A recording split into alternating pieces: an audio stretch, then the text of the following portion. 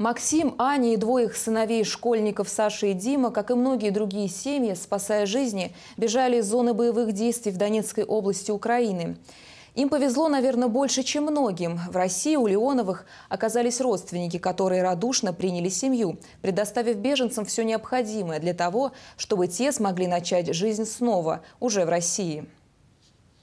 Сейчас в уютном гостеприимном доме родных, сидя за чашкой чая, мальчишки вспоминают события начала и середины лета, участниками которых им пришлось стать как сон или компьютерную игру. Было страшно. Вот мы еще с Димой катались на велосипедах, и вдруг вот прям где-то уже нас начали этот э, из пулемета где-то стрелять, кажется.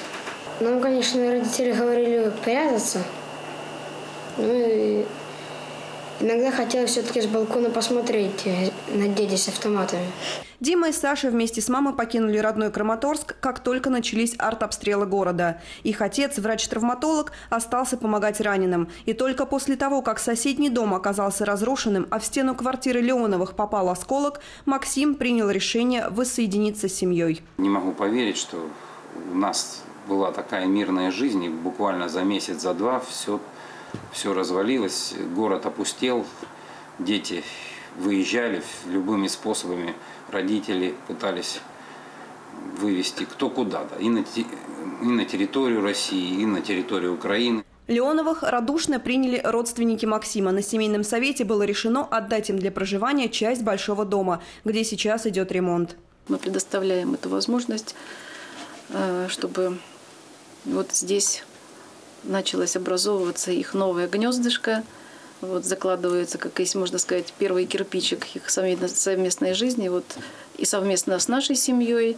Ну и здесь, конечно, что сможем, поможем. Обживаться на новом месте помогают и районные организации. Но самое главное – найти работу. Аня временно трудоустроилась в магазин. Именно поэтому дома мы ее не застали. В дальнейшем супруги Леоновы планируют найти работу по специальностям. Для этого нужно подтверждение дипломов, что требует времени.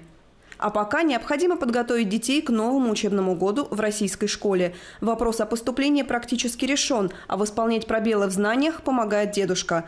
Владислав Пляскин сам родом из Краматорска. Там в местном музее хранится мундир его отца, участника Великой Отечественной войны, активиста-общественника, награжденного орденом Богдана Хмельницкого лично, бывшим президентом Украины Леонидом Кучмой. На примере своей семьи воспитывает он в детях здоровый патриотизм. Начали с ними беседовать по поводу места, роли, скажем, России, Украины в мире. Вот. То есть не, не с точки зрения стравливания, а с точки зрения действительно каких-то общих корней, таких вот, что я не хочу, чтобы они воспитывались в стране, где, повторяю, Бандера и Шухевич являются героями. Семейные истории, чтение книг, поездки. Ребятам все ново и интересно. Были в Александровском саду, видели э, памятник могила неизвестного солдата, города-героя, города воинской славы. У семьи Леоновых в Краматорске остались родители, которые пока не рекомендуют возвращаться им на родину, а потому надо налаживать новую жизнь, уже в России. Татьяна Акимова, Александр Ильин, Наталья Буслаева, Видное ТВ.